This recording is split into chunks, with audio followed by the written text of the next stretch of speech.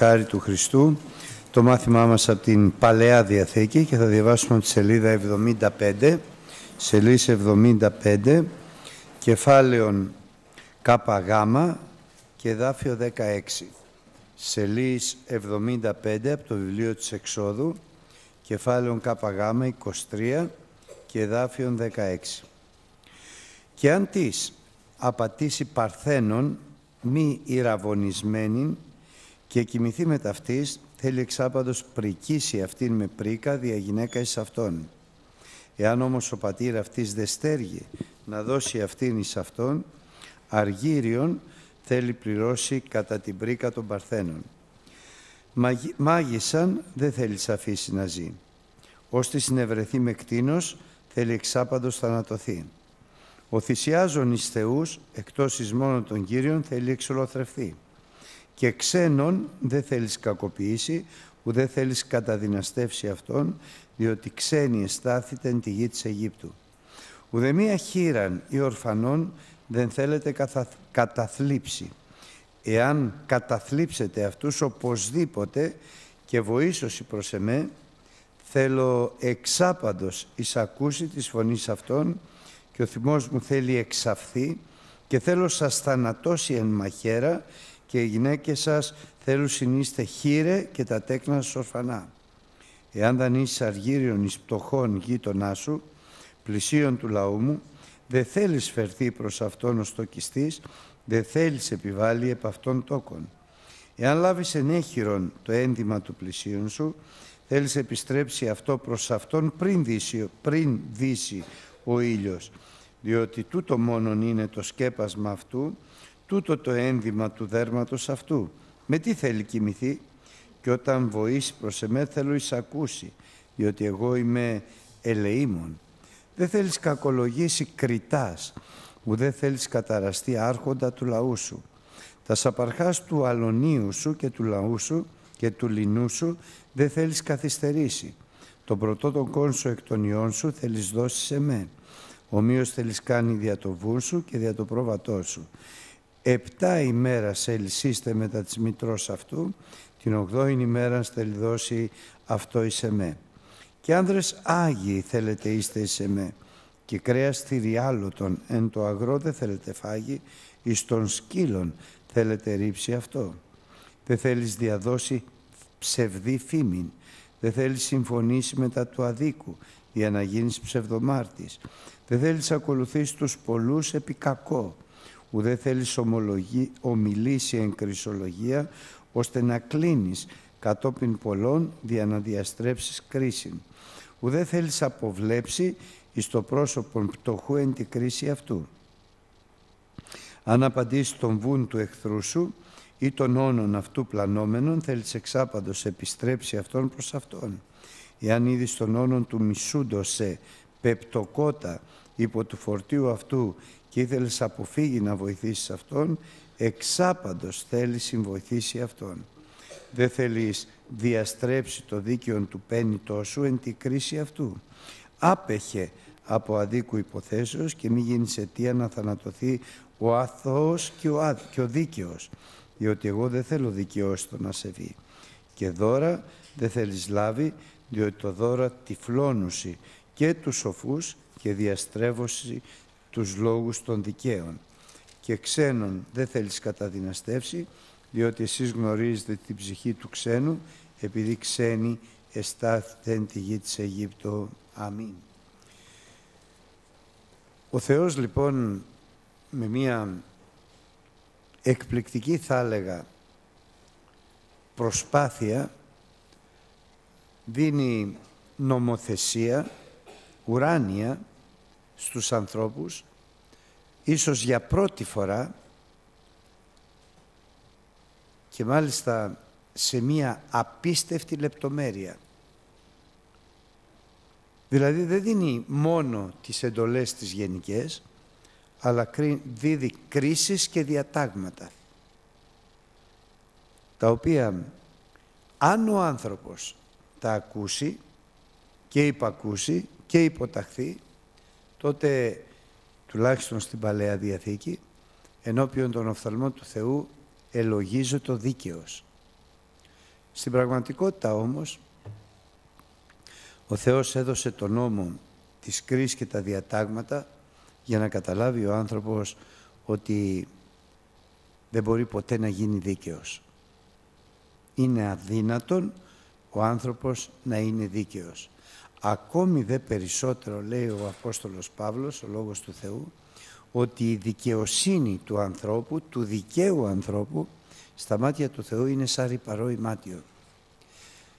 Και ο μόνος ο οποίος μπορεί πραγματικά να μας εξηγήσει τις λεπτομέρειες της ζωής μας αλλά και τις αποφάσεις από τις επιθυμίες της σαρκός, τις επιθυμίες των οφθαλμών και την αλαζονία του βίου ότι αποκλείεται να είναι δίκαιες είναι ο πλάστης μας, ο δημιουργός μας που μας έπλασε και γνωρίζει τη φύση μας, το χαρακτήρα μας, γνωρίζει την καρδιά μας, γνωρίζει τα πάντα. Παρόλα αυτά όμως δεν πάβει ο Λόγος του Θεού να απευθύνεται σε ανθρώπους και στην Παλαιά Διαθήκη, να απευθύνεται στους ανθρώπους δείχνοντας στους ανθρώπους τι είναι το δίκαιο ενώπιον του Θεού, αλλά ιδιαιτέρως την αμαρτία. Τι είναι αμαρτία; Και είναι τόσο σημαντικό να ξέρουμε τι είναι αμαρτία; Είναι πάρα πολύ σημαντικό. Γιατί ο μισθός της αμαρτίας είναι θάνατος. Τότε η αμαρτία στην Παλαιά Διαθήκη θέλω να πω επέσυρε άμεσα το θάνατο στη Γενή Διαθήκη που έκαμε όμως ο Θεός το μέγα και εξεπλήρωσε το μέγα αυτό μυστήριο του Θεού Πατρός και του Ιού του, του Ιησού Χριστού, τον οποίον απέστειλε στη γη, σαν πρόβατο εν μέσω λύκων, σαν πρόβατο επισφαγήν, σαν πρόβατο άμωμο που θυσίασε τη ζωή του, την ψυχή του, υπερ πάντων ημών, ώστε εμείς γνωρίζοντας τι είναι αμαρτία, τώρα όχι να την αποφεύγουμε που πρέπει, αλλά το σημαντικότερο απ' όλα να μετανοούμε, ώστε έχοντας το αίμα του Ιησού Χριστού που καθαρίζει η μάσα από πάσης αμαρτίας, να έχουμε τη δυνατότητα. Γι' αυτό είναι πολύ σοβαρό να έχουμε γνώση της αμαρτίας. Πιο σωστά, επίγνωση της αμαρτίας. Ώστε να καταλαβαίνουμε και μάλιστα όχι με φαντασία, όχι με τη γνώμη μας, όχι με τις απόψεις μας, γιατί πολλές φορές γινόμαστε πάρα πολύ αυστηροί και χάνουμε το έλεος του Θεού και ιδιαίτερα με τους άλλους και πάρα, πάρα πολλές φορές γινόμαστε ιδιαιτέρως επίοικείς με τις δικές μας αμαρτίες και χάνουμε πάλι το έλεος του Θεού. Ο χριστιανός περπατάει πάνω στην κόψη του ξηραφιού θα λέγα.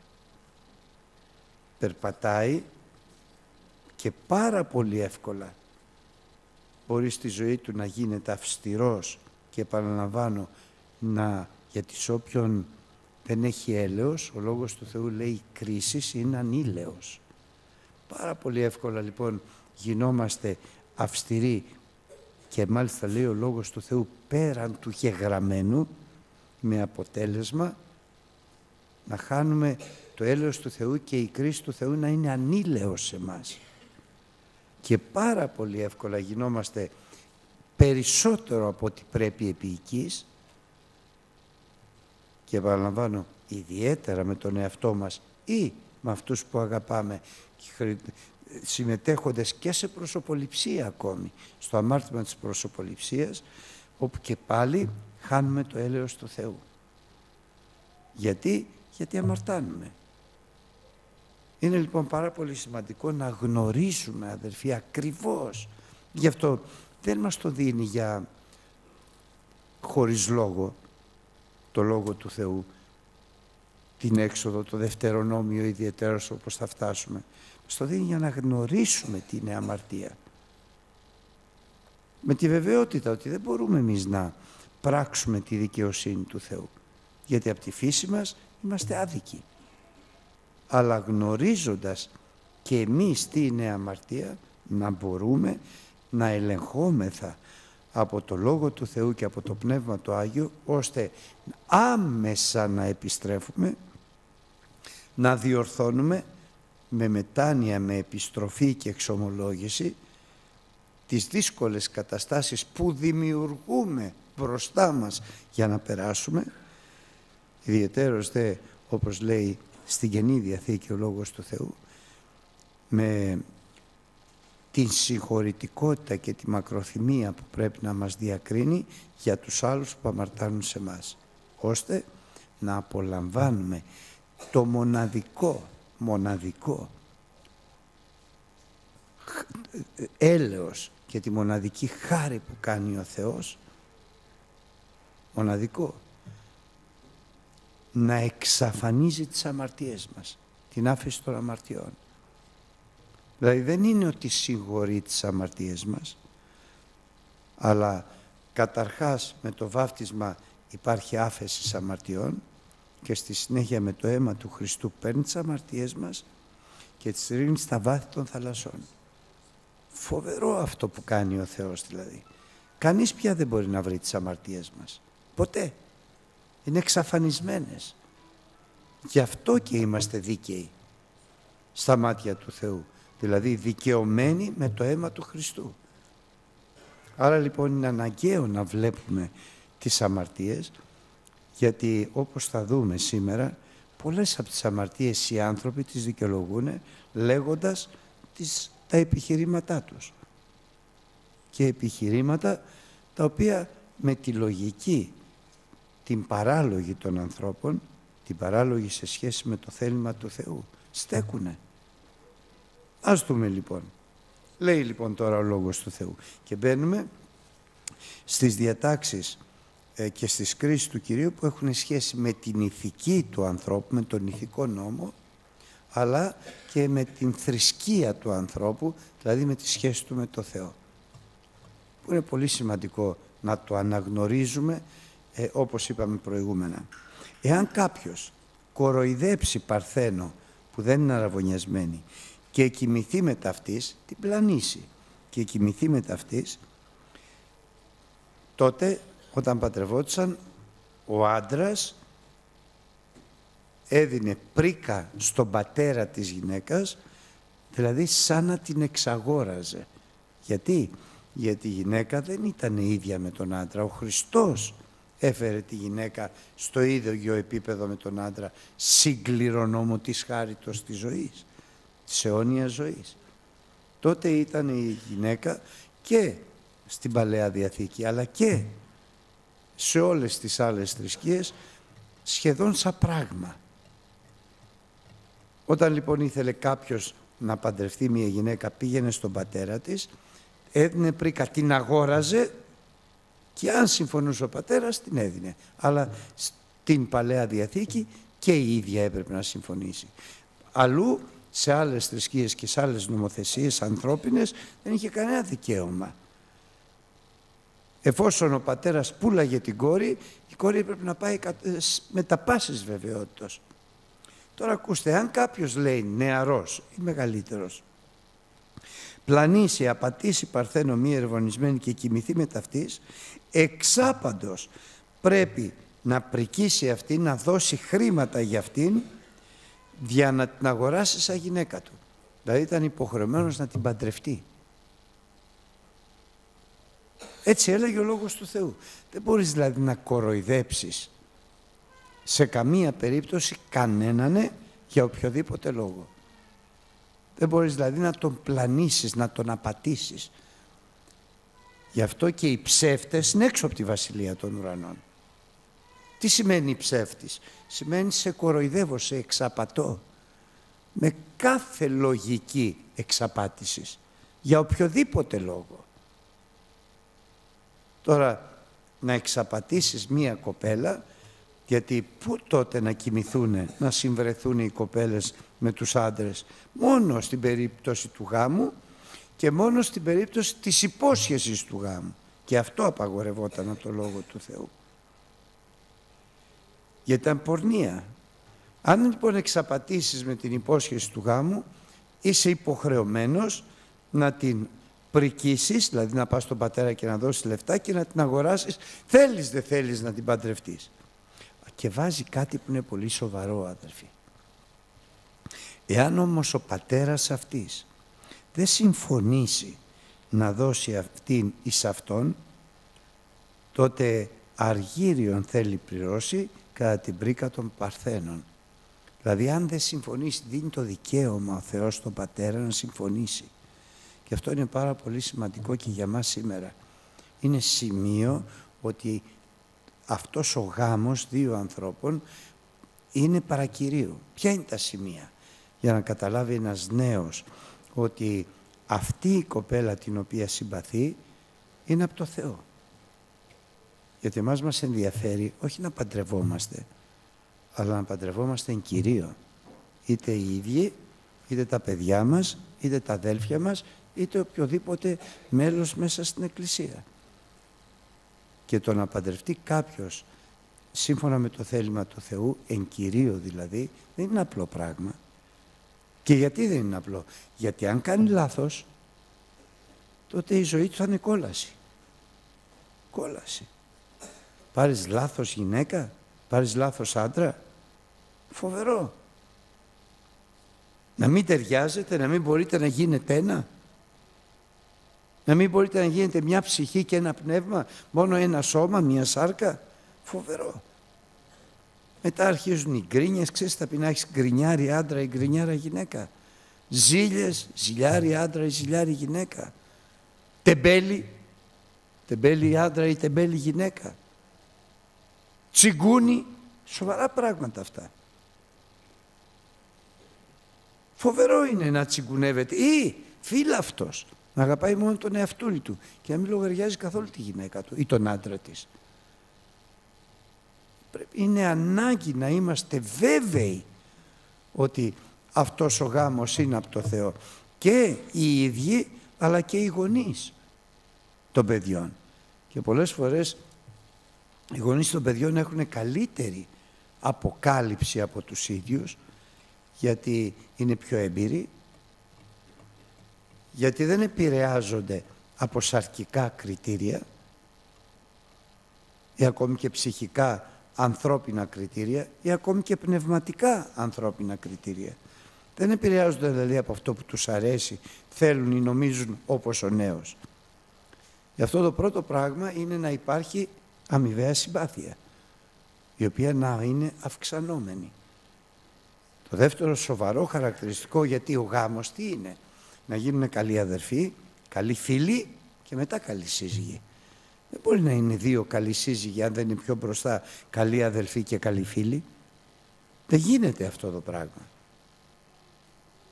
Το πρώτο πράγμα λοιπόν είναι να υπάρξει μια αμοιβαία συμπάθεια, δηλαδή έλξης, που είναι η πρώτη προϋπόθεση. Με το ζόρι γάμος δεν γίνεται. Και οι δύο. Αλλά το δεύτερο βασικό χαρακτηριστικό είναι να είναι αυτό αυξανόμενο. Δηλαδή κάθε μέρα να αυξάνεται. Αλλά το τρίτο, βασικότερο χαρακτηριστικό είναι αυξανωμένης αυτής της έλξης που δεν μπορούσα να την πω έρωτα η αγάπη, ανθρωπίνος, η πνευματική κατάσταση των νέων να είναι αυξανόμενη. Δηλαδή δεν θα παντρευτείς κάποιον που θα σε βγάλει από τον Χριστό, ούτε θα συνδεθείς με κάποια που θα σε βγάλει από τον Χριστό. Ή θα σε κάνει σαρκικό, ή θα σε κάνει κοσμικό, ή θα σου μεταφέρει άλλα πνεύματα, άλλες διδασκαλίες, άλλες απόψεις. Δηλαδή θα πρέπει αυτό το οποίο δημιουργεί, αν το δημιουργεί ο Θεός, γιατί μπορεί να τη δημιουργηθεί η καρδιά των ανθρώπων, που είναι καταστροφικό. Και πού θα καταλάβουμε ότι το δημιουργεί η καρδιά του ανθρώπου ή ο Θεός; Από την πορεία των πραγμάτων. Από την πνευματική πορεία των πραγμάτων. Και εδώ θέλω να τονίσω κάτι αδερφοί.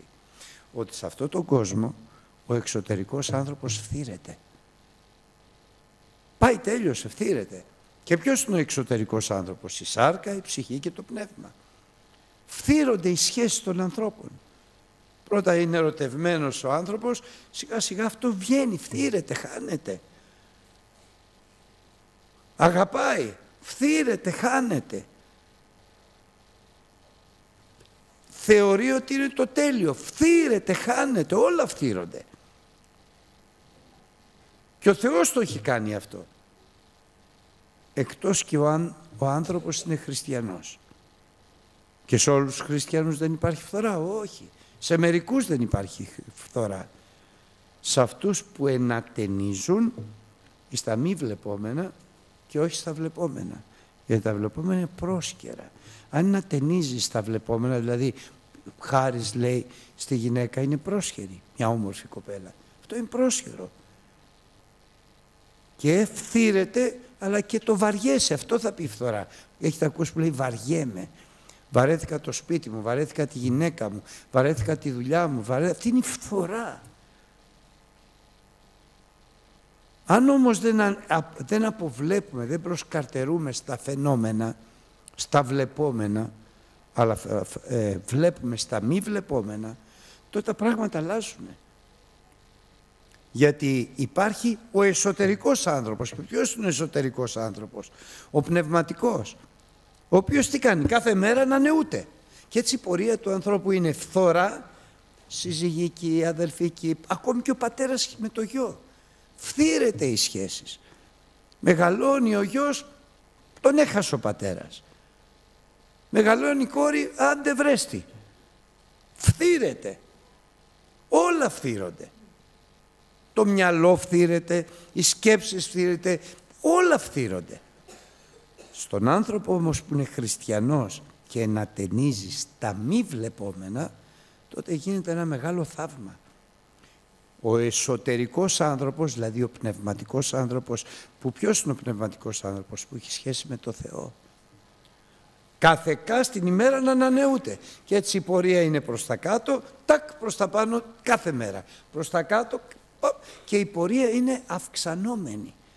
Γιατί ο εσωτερικός άνθρωπος ανανεούται κάθε στην ημέρα. Και αυτό πώς γίνεται; Λέει ο Λόγος του Θεού ότι στην Καινή Διαθήκη ο Κύριος είναι το Πνεύμα το Άγιο.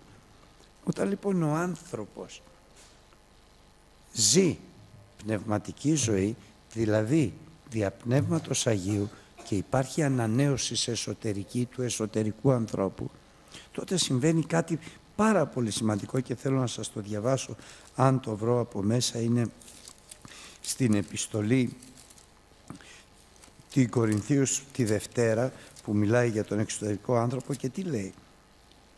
Όταν ο Κύριος μας είναι ο παράκλητος στο πνεύμα της αληθείας, τότε εμείς βλέπουμε δια πνεύματος Αγίου τη δόξα του Χριστού σαν ένα καθρέφτη. Ε, βλέπουμε τον καθρέφτη και βλέπουμε πίσω τι συμβαίνει, πώς είναι ο καθρέφτης στο αυτοκίνητο. Και με αυτή την όραση που μας δίνει το Πνεύμα το Άγιο να βλέπουμε τη δόξα του Χριστού βλέποντας τη δόξα του, του Χριστού μεταμορφωνόμεθα καθεκά στην ημέρα από δόξης σε δόξης δια του Πνεύματος του Αγίου. Υπάρχει μία μεταμόρφωσης. Δεν, αφ, δεν αφιέμεθα στην πορεία του φυσικού ανθρώπου, αλλά διοικούμεθα στην πορεία του πνευματικού ανθρώπου, αυξανόμεθα, μεταμορφωνόμαστε. Και τι λέει τώρα ο Απόστολος Παύλος; Δια τούτο έχονται σε αυτή τη διακονία, αυτό το έργο, να έχουμε τη δυνατότητα να μεταμορφωνόμεθα κάθε μέρα και να αυξανόμεθα από δόξη σε δόξη, από δόξα εις δόξα δια του Πνεύματος του Αγίου, καθώς ελεήμηθημεν δεν αποκάμνομεν, ώστε δια τούτο δεν αποκάμνομεν, εάν και ο εξωτερικός ημών άνθρωπος θύρεται, γιατί ο εσωτερικός άνθρωπος ανανεούται καθεκά στην ημέρα. Να ποιος δεν αποκάμνει, να ποιος δεν βαριέται. Ο άνθρωπος που μεταμορφώνεται δια του Πνεύματος του Αγίου κάθε μέρα, επειδή ενατενίζει, προσκαρτερεί τον Κύριο. Ξέρετε πώς το λέει στην Παλαιά Διαθήκη, το ίδιο ο Λόγος του Θεού. Οι νέοι και οι ικανοί νέοι και οι δυνατοί νέοι θα αποκάμνουνε. Παντάπαση. Μόνο αυτοί που ενατενίζουν στα μη βλεπόμενα ή προσμένονται στον Κύριο, τι λέει, θα ανανεώνουν τις δυνάμεις τους. Και όταν λοιπόν υπάρχει ένας άνθρωπος που ανανεώνει τις δυνάμεις του κάθε μέρα, δια Αγίου, καθώς διαπνεύματος Αγίου του αποκαλύπτεται η δόξα του Χριστού. Του αποκαλύπτονται πράγματα τα οποία δεν μπορεί ο φυσικός άνθρωπος να τα κατανοήσει. Μόνο διαπνεύματος Αγίου κατανοούνται. Και αλλού λέει ο Απόστολος Παύλος ότι στα βάθη του Θεού μόνο διαπνεύματος Αγίου πάμε. Και τότε τι συμβαίνει; Βλέπουμε αυτά που ο φθαλμός δεν είδε. Ακούμε αυτά που αυτή δεν άκουσε.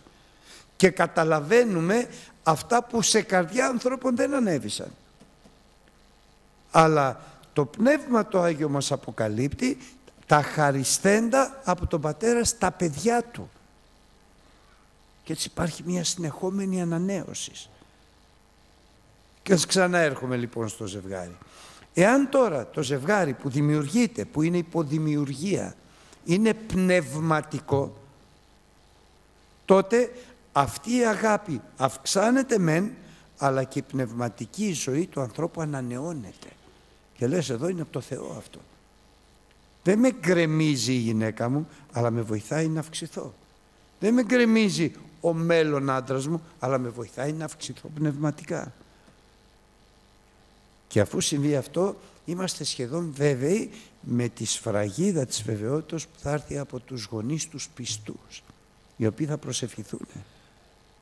Προσεύχονται. Και ζητάνε από το Θεό αποκάλυψη και αυτή, φανέρωση. Και όταν οι γονείς έχουν χαρά, τη χαρά του Πνεύματος του Αγίου, τότε όλα θα πάνε καλά. Τότε δεν υπάρχει λάθος. Αλλά είναι δυνατό να υπάρξει λάθος; Δυστυχώς ναι. Στο γάμο, σε κάθε περίσταση της ζωής μας. Στο γάμο, στη δουλειά, στη ζωή, στο ταξίδι, στην εκκλησία. Είναι δυνατό να υπάρξει λάθος; Τώρα εδώ τι κάνουμε; Παραδιδόμαστε, παραδεινόμαστε και λέμε έκανα λάθος και όπως είχα πει αφρόνος, εγώ κάποτε ό,τι έσπηρες στερίζεις σε κάποιον αδερφό και το μετάνιωσα. Ο Θεός δεν μας λέει αυτό. Μας λέει ότι έκανες λάθος. Μόνος σου. Κάνατε λάθος δύο. Πάρε λοιπόν τη γυναίκα σου και τον άντρα σου πριν απολεστείτε, πριν καταστραφείτε. Γονατίστε στον Κύριο και πέστε «Κύριε, έκανα, κάναμε λάθος» ή αν δεν το έχει καταλάβει ο άλλος μόνος σου. Κύριε έκανα λάθος. Και τώρα ο Θεός μπορεί να τα διορθώσει όλα τα λάθη μας αδερφοί. Όλα, όλα. Εγώ κάποτε σας το έχω πει αλλά πρέπει να το ξαναπώ γιατί έχει σχέση με αυτό το λόγο του Θεού. Φοβόμουν να μην κάνω λάθος. Όταν σας λέω φοβόμουν έτρεμα. Καλό ήτανε γιατί προσευχόμουν αλλά δεν γινόταν να μην κάνεις λάθος, είσαι άνθρωπος. Και όταν έκανα λάθος απογοητευόμουν. Λέω έτσι τι θα κάνω, λάθη κάνω. Και μια μέρα προσευχόμουν και λέω κύριε μη βοήθησε με, μην κάνω λάθος. Και ο Θεός μου δείξε την παιδική μου ηλικία. Για να με διορθώσει και αυτό το λάθος που έκανα. Που έλεγα βοήθησε με μην κάνω λάθος. Σε βοηθάω αλλά θα κάνεις. Γιατί, γιατί είσαι άνθρωπος. Όταν μου ζητάς και να σε βοηθήσω να μην κάνεις, θα σε βοηθάω. Αλλά εσύ θα κάνεις. Και με πήγε στην παιδική μου ηλικία. Ο πατέρας μου ήταν αγρότης. Και όταν ήμουν μικρός, 8-10 χρονών, με μάθαινε πώς να ποτίζω. Για αυτό ήταν πάρα πολύ εύκολο. Εγώ πιτσιρικάς τώρα. Και μου έλεγε, το νερό έρχεται από την αμπολή, τώρα το λέω έτσι, υπήρχαν οι αλίες, εκεί που είχαμε σπείρει και φάζαμε το χώμα με, με την τζάπα από εδώ, έμπαινε το νερό μέσα. Τραβάγαμε την τζάπα, όταν γέμιζε η αλία και ποτιζόταν, έκλεινε αυτό και πήγαινε στην επόμενη αλία. Και μου έλεγε, αλλά άκουσα να δεις, γιατί ήταν πολύ το νερό που είχαμε. Άκουσα να δεις όμως, θα παίρνεις το, το χώμα πρώτα από πίσω, θα το στιβάζεις, θα το στιβάζεις, θα το στιβάζεις και μετά όταν θα μείνει λίγο, θα το τραβάς, γιατί αν δεν το κάνεις έτσι να κλείνεις την αλία, το κλείνεις δηλαδή λίγο-λίγο. Γιατί αν δεν το κάνεις έτσι, το νερό θα σου παίρνει το χώμα. Εγώ έλεγα μέσα μου, τι χάζος είναι ο πατέρας μου. Άκου θα μου παίρνει το χώμα, εμένα θα μου παίρνει το χώμα.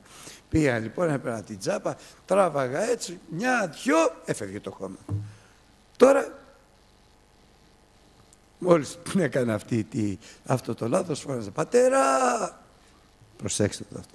«Πατέρα!» Ερχόταν χαμογελαστός. Όχι θυμωμένος. Μου λέει «Πάλι έκανες λάθος». Ή πάλι τι μου έλεγε δεν θυμάμαι. Λέω μόνο του έφυγε το νερό.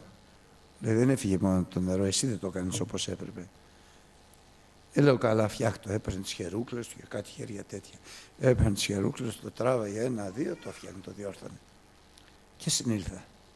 Και λέω το λάθος μου. Ο πατέρας μου το διόρθωνε τόσο εύκολα ο γήινας. Ο ουράνιος δεν θα το διορθώσει. Δεν θα το διορθώσει, τι λέτε.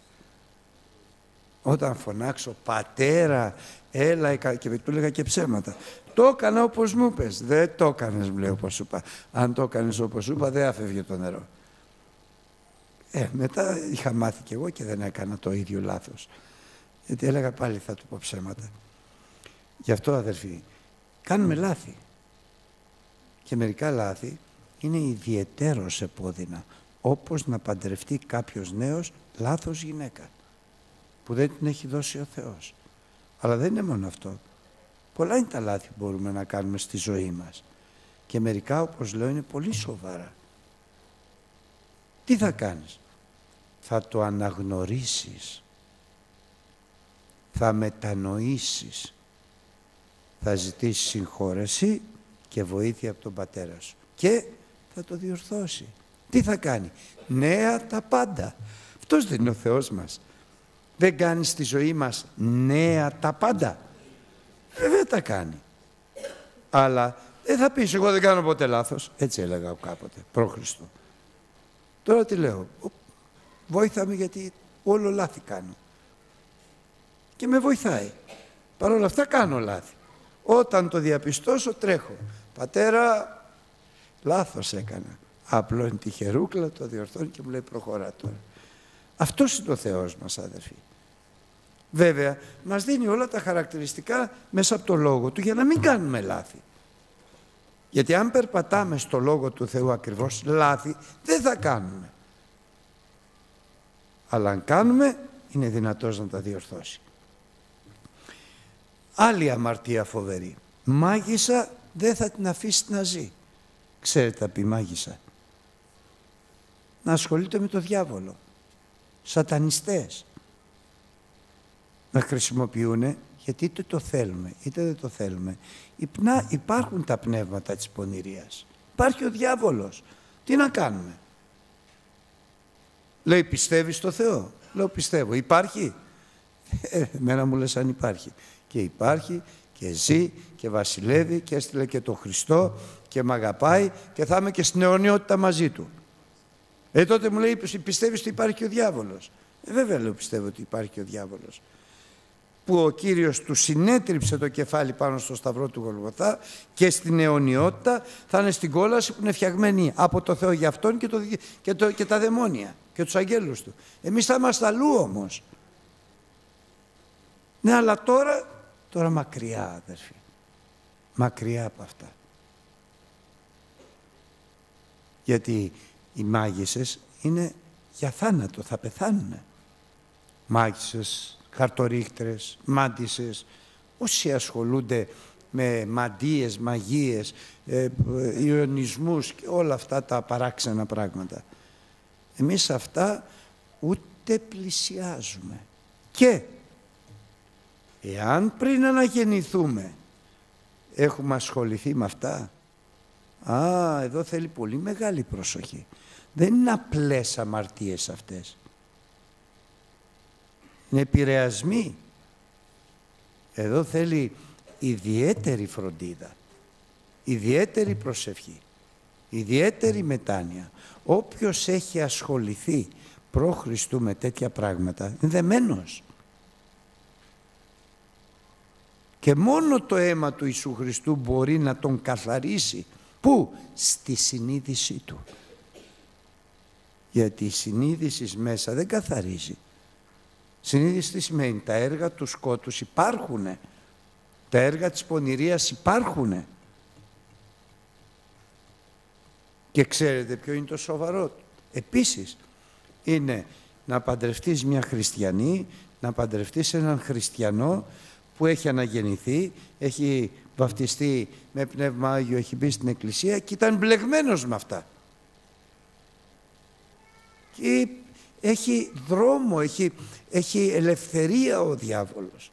Γιατί κάποτε του έχεις παραδοθεί. Πρέπει να ελευθερωθεί ο άνθρωπος. Πρέπει να εξομολογηθεί. Πρέπει να βοηθήσεις να εξομολογηθεί η γυναίκα σου που έχει μπλέξει σε αυτά. Πρέπει να βοηθήσει η γυναίκα να εξομολογηθεί τον άντρα της που έχει μπλέξει σε αυτά. Για να ελευθερωθεί. Μα δεν με έχει αναγεννήσει. Ναι, σε έχει αναγεννήσει, σε έχει βαφτίσει με πνεύμα Άγιο, αλλά είναι πονηρός. Λέει ο, ο Απόστολος Παύλος για τον Αβραάμ. Λέει όταν τον κάλεσε ο Θεός, πήρε μια απόφαση. Ζούσε σε σκηνές, γιατί περίμενε την πόλη την ουράνια. Εάν λέει σκεφτόταν τα πίσω, θα έβρισκε αφορμή να γυρίσει. Ένας άνθρωπος που έχει μπλέξει με αυτά, με αμαρτίες, με τέτοιες επιθυμίες, με τέτοια πράγματα και δεν τα έχει πραγματικά καταδικάσει, ελευθερωθεί τελείως και θα δούμε πώς με το αίμα του Χριστού θα βρει την ευκαιρία ο διάβολος να τον πειράξει να του θυμίσει να του πει θα βρει την ευκαιρία ο άνθρωπος αυτός τώρα πρέπει να είναι τελείως ελεύθερος και η ελευθερία πώς έρχεται. Με την εξομολόγηση και τη μετάνοια, αλλά όχι μόνο στο Θεό, αλλά και στους ανθρώπους με τους οποίους συμβρισκόμαστε. Πρέπει να είναι γνωστά αυτά. Τι είπαμε, είμαστε αδερφοί αλλά και φίλοι. Τι σημαίνει φίλος, τα λέω όλα. Όλα τα λέω. Ανοίγω την καρδιά μου. Δεν σας λέγω πλέον δούλους μου φίλους μου. Γιατί όσα μου φανέρωσε ο πατέρας μου σας τα είπα. Εάν δεν σας τα πω όσα μου φανέρωσε ο πατέρας μου τότε τι είστε δούλοι μου. Γιατί εγώ δεν θέλω να είμαι δούλος στη γυναίκα μου ούτε η γυναίκα μου να είναι δούλο σε μένα. Αλλά είμαστε φίλοι. Όλα θα τις τα πω. Με λεπτομέρειες. Να καταλάβει ποιος είμαι. Και μαζί να προσευχηθούμε να μας ελευθερώσει ο Θεός. Γιατί εγώ αναγεννήθηκα με ελευθέρωσε ο Κύριος, αλλά υπάρχει δέσιμο. Υπάρχει δεσμός, το έχω δει αυτό στην πράξη σε ανθρώπους. Με αυτά δεν μπορούμε να παίξουμε. Σε αυτά τα πράγματα πρέπει να είμαστε απολύτως καθαροί. Απολύτως ελεύθεροι. Και τι θα πει, πότε δεν είμαι ελεύθερος, όταν σου κρύβω. Στους καθαρούς τα πάντα είναι καθαρά. Αν εγώ δεν σου φανερώνω τόσο σοβαρά πράγματα, πώς θα είμαι ελεύθερος, πώς θα είμαι καθαρός; Αφού δεν σου έχω πει, δεν έχω κάνει την ομολογία μου ενώπιον του Θεού. Ξέρετε πόσο σοβαρό πράγμα είναι η ομολογία του ανθρώπου. Να ομολογήσεις ενώπιον των ανθρώπων όλα αυτά τα οποία έχεις κάνει με πνεύμα σοφίας και συνέσεως τότε ελευθερώνει το άνθρωπος. Πόσο μάλλον μέσα στην οικογένεια. Πόσο μάλλον σε έναν αδερφό κοντινό. Και μάλιστα με συντριβή καρδιάς, όχι με καύχηση. Ξέρεις εγώ τι έκανα όταν ήμουν νέος και αρχίζω και καφιέμαι. Θα ξαναγυρίσω εκεί. Θα με δέσει ο διάβολος και θα με ξανατραβήξει πίσω. Ο Θεός να μας φυλάει. Ξαναλέω, ελεύθερος είναι ο άνθρωπος τον οποίο ο Χριστός ελευθερώνει αλλά που είναι καθαρός ενώπιον Θεού και ανθρώπων. Καθαρός. Στους καθαρούς τα πάντα είναι καθαρά και φανερά. Τώρα πάμε σε άλλες ε, αμαρτίες. Όποιος συμβρεθεί, συνευρεθεί με κτίνος θέλει εξάπαντος θανατωθεί. Θα έλεγε κανείς, τι λέει ο Λόγος του Θεού; Την αλήθεια λέει ο Λόγος του Θεού.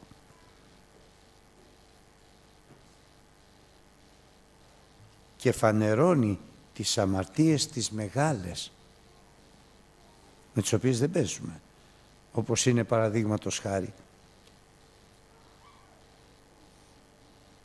η ομοφιλοφιλία Λέει τα, τα παιδιά τα καημένα. Τελευταία διάβαζα ότι παντρεύτηκε κάποιος μια κατσίκα. Δεν είναι αστεία πράγματα αυτά, αδερφοί. Ο διάβολος είναι κρυμμένος πίσω από εκεί. Παντρευτήκαν, λέει, τρεις. Δύο άντρες και μια γυναίκα. Η Ανούλα στην Αυστραλία λέει, μια συμμαθητριά μου έχει δύο μπαμπάδες. Εμείς δεν καταδικάζουμε τον αμαρτωλό στην Καινή Διαθήκη. Την αμαρτία καταδικάζουμε. Στο όνομα του Χριστού. Μα είσαστε φανατικοί. Δεν βλέπεις ότι τον σπλαχνίζουμε τον άνθρωπο, τον αμαρτωλό. Τον αγαπάω.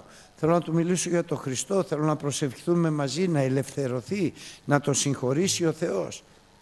Αλλά δεν μπορώ να μην καταδικάσω την πράξη του. Και τι λέει πάμε στην αρχή. Θα γίνουμε τόσο αυστηροί που δεν έχουμε έλεος. Δεν σε θέλω να σε δω, φύγε. Στην κρίση θα, η κρίση του Θεού θα είναι ανήλαιος σε σένα. Όχι φύγε. Έλα να προσευχηθούμε να σε ελευθερώσει ο Χριστός. Σ' αγαπάω. Ο Θεός αγαπάει τον αμαρτωλό και θέλει να μετανοήσει, να επιστρέψει και να σωθεί. Την αμαρτία βδελίτεται ο Θεός. Και έχουμε δει να κάνει θαύματα ο Θεός. Σε πορνίες, σε μοιχείες, σε ακαθαρσίες, σε ασέλγειες. Έχουμε δει αδελφούς μας να είναι ευλογημένοι. Αλλά πώς έγιναν ευλογημένοι; Γιατί μπήκαν στην εκκλησία, η εκκλησία άνοιξε την καρδιά της στον αμαρτωλό, προσευχήθηκε, ο Χριστός ήρθε με το αίμα του και ιδίως με την αγάπη των αδελφών και έλεγξε τον αμαρτωλό για την αμαρτία και επέστρεψε. Και τώρα τι είναι, πιο Άγιος. Γιατί είναι πιο Άγιος; Γιατί όπου επερίσευσε η αμαρτία, εκεί πέρα επερίσευσε η χάρη του Θεού. Έλεος θέλω και όχι η θυσία. Έλεος θέλω. Γιατί δεν ήρθε ο Χριστός για τους Αγίους, για τους αμαρτωλούς ήρθε να τους αγιάσει. Ο γιατρός δεν πάει για τους υγιείς, για τους ασθενείς πάει να τους θεραπεύσει. Και η Εκκλησία του Χριστού είναι νοσοκομείο που παίρνει τραυματισμένους, ετοιμοθάνατους, δυστυχισμένους, τους αγκαλιάζει για να μετανοήσουν και να σωθούν. Αυτή είναι η Εκκλησία του Χριστού. Αλλιώς ξέρετε είμαστε ή δικαστήριο ή άθλοι παρηγορητές. Άθλοι παρηγορητές. Βλέπεις τον πατέρα και η κόρη του, ο γιος του ταλαιπωρείται. Και σκέφτεσαι. Hm, τέτοιος που είναι, αυτό τον κάρπο έπρεπε να έχει. Έτσι είναι τα πράγματα. Για σκέψου αυτός ο άνθρωπος πώς ταλαιπωρείται σπίτι του. Πώς κλαίει. Πού είναι η αγάπη σου. Πού είναι η αγκαλιά σου. Πού είναι τα σπλάχνα σου. Τι σόι χριστιανός είσαι. Εάν δεν αγαπάς τον αμαρτωλό εάν δεν αγαπάς τον ταλαιπωρημένο. Με αγάπηση αιώνια μας λέει ο Θεός, σας αγάπησα. Μα είμαστε αμαρτωλοί. Με αγάπηση αιώνια σε αγάπησα. Και το αποτέλεσμα, γι' αυτό σε ήλκησα μέλος. Εμείς δεν αδιώγνουμε, θα ελκύουμε με την αγάπη μας. Η Εκκλησία είναι το καλύτερο νοσοκομείο γιατί έχει τον έναν και μοναδικό γιατρό και έχει νοσηλευτές που αγαπάνε τους ασθενείς. Με αγάπη τους ασθενείς. Εάν είσαι αυστηρός, αυστηρά θα κριθείς. Αυστηρός με τους αμαρτωλούς. Και πολύ αυστηρά μάλιστα θα κριθείς. Και εδώ και στην αιωνιότητα. Τους αμαρτωλούς είμαστε επίοικείς, σπλαχνικοί. επίοικης και σπλαχνικός θα είναι ο Θεός στα δικά σου λάθη και στις δικές σου αμαρτίες. Αδερφοί, δεν μπορούμε να παίξουμε με αυτά τα πράγματα. Είμαστε και πρέπει να είμαστε χριστιανοί. Και στα στο έχω ξαναπεί, Τώρα το κατάλαβα κι εγώ και το λέω προς εντροπή μου. Μετά από 35 χρόνια περίπου. Λέει ο Λόγος του Θεού, λέει ο Χριστός μας. Εγώ όμως σας λέγω να αγαπάτε τους εχθρούς σας. Εγώ όμως σας λέγω να ευλογείτε εκείνους που σας καταρώνται. Εγώ σας λέγω να ευεργετείτε εκείνους που σας μισούνε και να προσεύχεστε υπέρ εκείνων οι οποίοι σας βλάπτουν και σας κατατρέχουν. Γιατί; Για να γίνετε ή του πατρός σας. Είσαστε παιδιά του Θεού, αλλά πρέπει να γίνετε ή του πατρός σας, να του μοιάσετε. Να λένε αυτός πραγματικά είναι παιδί του Θεού.